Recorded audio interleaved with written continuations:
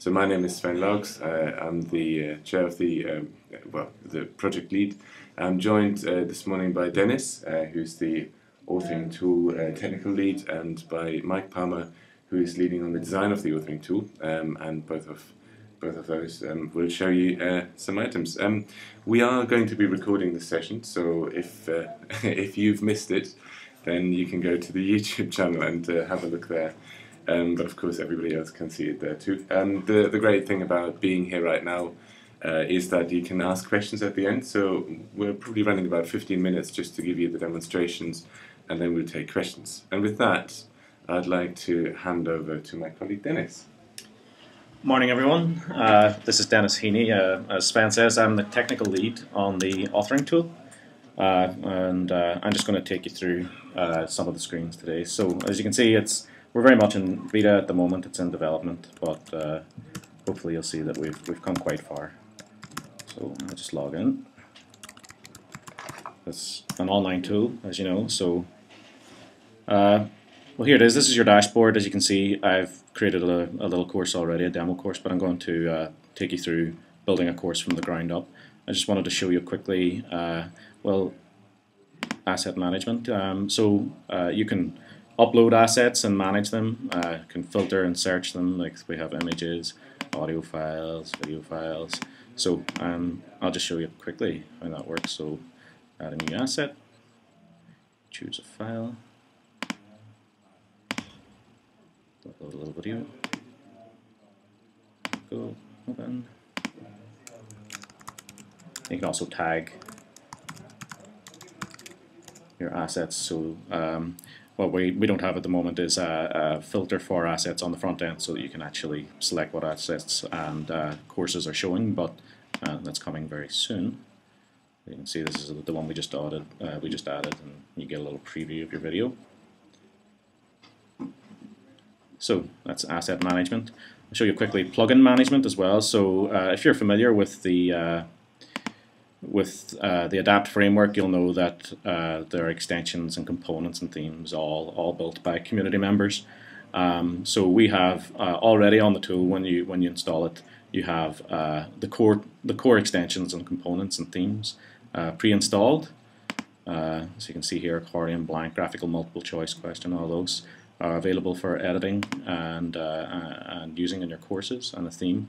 You can also if you're if you're developing a plugin and you, you want to try it out in the authoring tool, you can actually upload it. This is a little one built a while back, so we'll upload that. It's a little component. And you'll see that it uh, shows here on our list. So we'll be able to actually add that to our course and use it later, which is kind of cool. So um, I'll actually take you through a course from the ground up first. So we'll say my course and add some body. This is a rich text editor. And again, you can asset and you can set uh, set uh, sorry tag and uh, and set visibility settings for it. So we'll double click to go. We'll double click to go into the course. Um, so I the I'm not going to go into too much detail on uh, the structure of an adapt course. Um, uh, if you're familiar with the framework, you, you probably already know uh, how a course is made up and, and, what the different elements of it are. Um, but this is kind of like your, your menu builder. You can add a section, uh, you can add a page, uh, within a within a section you can add another page, and so on. I just want to make uh, this this continues on as, as much as you as much as you want. Um, but I'm only interested today in doing a single page course, so I'll just get rid of these.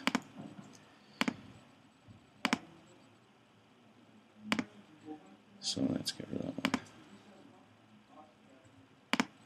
Okay, and we can uh, edit the properties of this page.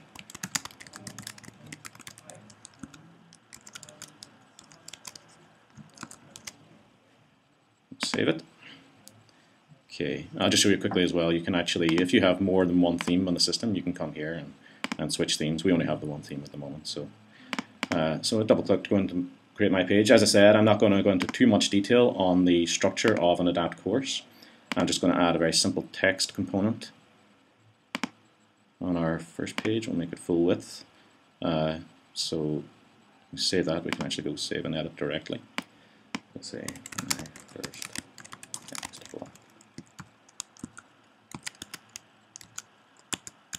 Uh, as I said, uh, this is a rich text component, uh, or text or field, I should say. and I can have I can have bold text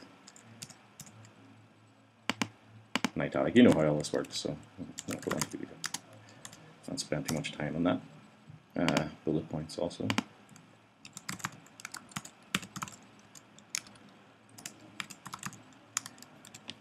save that and you'll see uh, some of our components we have uh, a little preview of what you're getting. So it's very much a sort of uh, structure content builder. It's not WYSIWYG because, as you know, uh, Adapt is a is a is a responsive.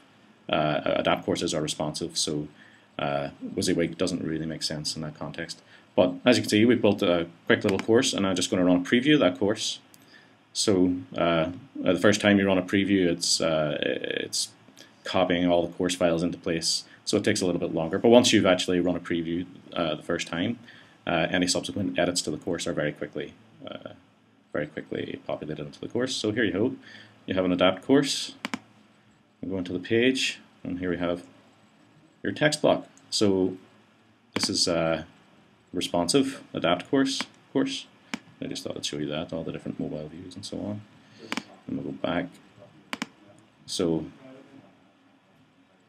I want to show you as well how we configure some of the more complex features such as extensions. So for my course I can, uh, I can add an extension. Let's say we'll add the page level progress. Okay. So I'll go back here and I'll add a new section to the course. I'll block, a component. Again, I'm just going to use the text component. Save double click in here to edit.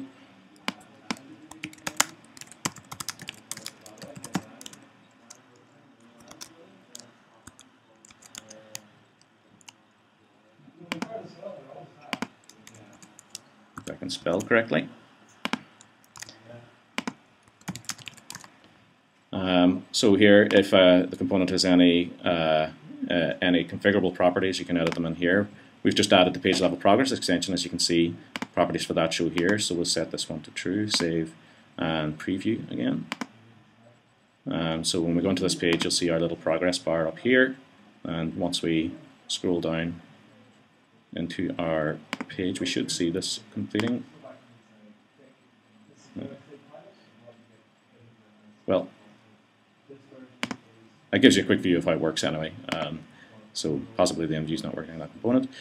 Uh, and that's that's really it, I think. Uh, unless there's anything else, I don't think there's much else we really need to see, is there? Or that's great. Thank you very much. Yeah. Okay. Um, Mike, do you have a like that? Uh, I was just saying the, the drag and drop function. Ah, yeah. So, for example, uh, we'll, we'll come in here and uh, edit a page. Um, so let's say uh, your all your components are are, are full width or or left and uh, or they can show in left and right in a particular block. So as you can see, we can actually just drag this down into there, or we can move it up into the left hand side and uh, into the right hand side. So that's quite nice just to, to change the structure. Of course, thanks for that, Mike.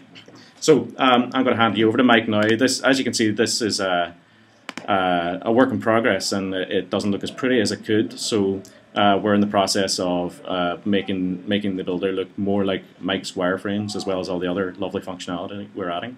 So Mike's going to show you eventually what the, the tool is going to look like. So I'll hand over now. Thanks very much, Dennis. So as Dennis has taken us through all of the, the functionality of the authoring tool, uh, I'd like to show you some of the designs that we, have been working on so far this week. Um, let's just put this into full screen. So starting off from a standard type of login page, uh, got the ability to jump into create an account um, or uh, login. Very minimal branding, very focused just on the content. Stepping into creating an account, we immediately start to present the authoring tool um, in the format that you'll find throughout all of the other pages. So we have a very consistent um, formula where all of the, the actual content is displayed on the, on the right in the main panel, and all of the actions um, are displayed on the left. Um, we're always trying to put a focus on the primary action through each of these panels. In this instance, it's creating an account. So jumping into the dashboard, uh, we've got a number of things going on with the dashboard. Obviously, the, the primary action is to is to add a new course, but we've got a lot of um, functionality to help you find the courses once you've created them. So you can search by keyword, you can go through, you can filter by tags, you can view by categories, you can jump in to edit the categories that you've created. Uh, and you've got the various options to view the courses themselves. You can view them in this nice grid view, which is very minimal, focused upon um, the visuals um, presented within a course. Um, you can order this from A to Z or Z to A or by category, by published date, last updated date, things like that. Or you could switch it into list view. Uh, list view presents uh, a lot more information around the course. Um, the exact details of what it is, is we haven't quite figured out yet, but it, it gives you the ability to see a lot more meta details around the course as well as seeing the tags, being able to add new tags, modify the tags that are there as well. If you were to double click onto the course, you then start to step into the actual course structure. Um, now this page is, is kind of accepted that you're, you've gone through a process here, you've had a look through some of these folders, some of these sections. Um, again, it's following the very much the, the, prescribed method where it's all of the content is on the right and we've got the basic kind of functions over here on the left. Stepping into the page structure, we are showing again, this is very much the, the page that Dennis was taking us through with the drag and drop. Um, here we've got the, the ability to, again, kind of move things around, to edit things, to collapse various sections to make it easier. Um, you can jump into by clicking on add a component, add a block, add an article. If we clicked on add a component, you then taken to the screen where you can see all of the components that are available. Um, this would be a scrollable list the idea being that you can grab hold of a component and you can drag it and you can drop it on one of the areas at the top. Once you've made your selection, it's then, we've only got an option now to place a component on the right, so the interface is only showing you the actions that you can feasibly achieve. Uh, if I pick this accordion back up, then I would get presented again with the, the, th the three options of where I wanted to place it. So it gives you the ability to choose both components or a single component in one view. I can either then save the selection, jump straight back to the course structure, uh, sorry, course page, or I can save and edit. Um, if you've got multiple items, we're, we're thinking about taking you into, uh, sorry, so this is when you jump back to page structure. You can see the components that I've both selected on the page. If I went to um, save, an edit of a single component, it takes me into that component. Um, there's lots of different um, pages of information that would need to be edited within a component. Some of them are configuration settings, some of them are content based. So we haven't set um, a specific layout for this and we've put it for um, individuals to be able to decide what information they want displayed on the page at one time. So we have this filtering um, option so you can switch various parts of the component on to view on the page at one time. So it may be that you just want to see the general information so you could switch the other ones off. Um, it just tries to keep the page a little bit shorter and a bit more succinct but it also allows people to work in whatever way they, they feel comfortable working in. If you had added two components to your page, again, it's very, very similar, but you've got the options to um, edit both of the components from this, this one type of view. Um, some of the other options off of the, the course page is, is stepping into configuration. Again, it's using a very similar design language. So we've always got forms laid out in a very consistent way on the right hand side. We're always presenting clearly and consistently the, the functions and the primary actions on the left hand side. Again, this is the theme settings that Dennis was showing on the authoring tool. These have kind of been um, jazzed up a little bit with various kind of screenshots that a theme might come with. Uh, I think we, we have as well options to, to edit or duplicate themes um, through this, this, this cog action here, uh, cog item. And then finally the course extensions, being able to switch on and off course extensions. Um, again, we can see what extensions are, are enabled by using the filter or, or what are available. And we show a very large visual clue as to what's switched on and what's switched off. So those are the designs as they stand at the minute. Um, they are very much a work in progress, um, but it gives us a good representation of how we're going to take the, the authoring tool as it stands at the minute um, and apply a design which will help the user experience um, and the flow through the system. Wonderful. Thank you, Mike. That's that's great. So, uh, as we said, um, we wanted to give you a very very quick run through, and I think uh, we've done that. So, thank you very much, Dennis and Mike. Um, the uh, the the next thing really is to say that um, what you've seen is work in progress the designs. We are uh, going to uh, release the authoring tool within 2014, i.e., before the end of this year.